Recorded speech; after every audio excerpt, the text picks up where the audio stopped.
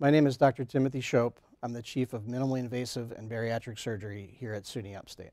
My training included a residency program in general surgery at Albany Medical Center. I then completed a fellowship in minimally invasive and bariatric surgery at Hershey Medical Center in Hershey, Pennsylvania.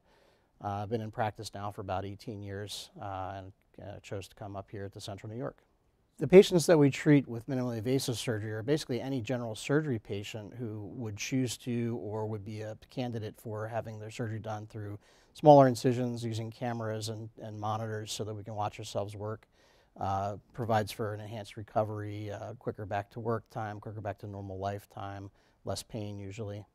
The Da Vinci robot is one of the possible applications of minimally invasive surgery. We can also, instead of using the robot, use standard laparoscopic instruments and actually be at the patient's bedside using uh, direct hands-on equipment rather than having directing the robot to do the procedure.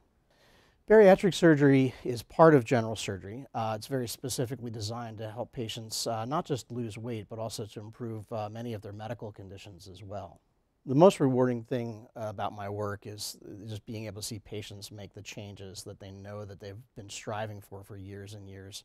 Um, or even if it's a simple problem that they come in with that requires an operative intervention, we can fix it and they can get back with their lives.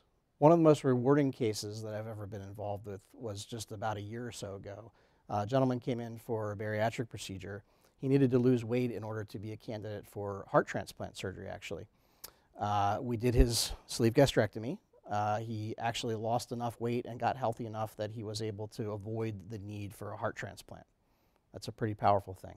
The most important thing I'd like a prospective patient or referring doc to know about me is that I actually care about my patients. Uh, many surgeons these days will be so tied up with performing the procedures and not delve into you know, what's actually going on with the patient and what we can actually do to have a long-term impact on those patients.